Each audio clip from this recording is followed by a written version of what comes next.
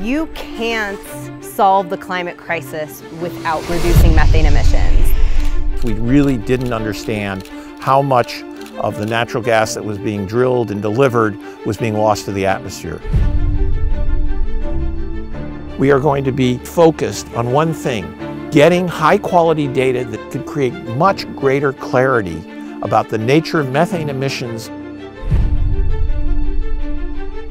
For the first time, policymakers and the public could really understand not only the magnitude of emissions, but also where these emissions are coming from, the countries and companies most responsible, and hold them accountable. Methane emissions. Methane emissions. Methane emissions. Methane emissions. Methane emissions. Mitigating methane emissions allows us to bring rapid progress towards addressing the climate crisis while we deal with the long-term climate crisis that we face.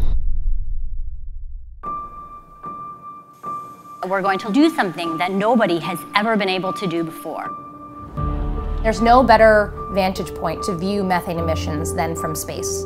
And this is the critical, crucial moment in climate change and fighting it that we need this data, we need this transparency. Measuring methane to this precision, you have to design and develop a new technology that does that.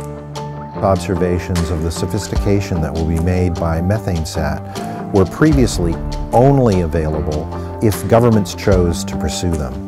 This is a fantastically capable instrument, and that has just been outside of what's possible. Three, two.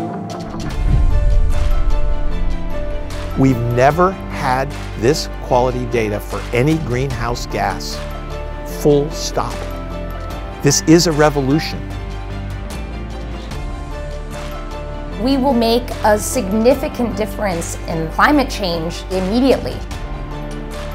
We can change the course of global warming in our lifetime.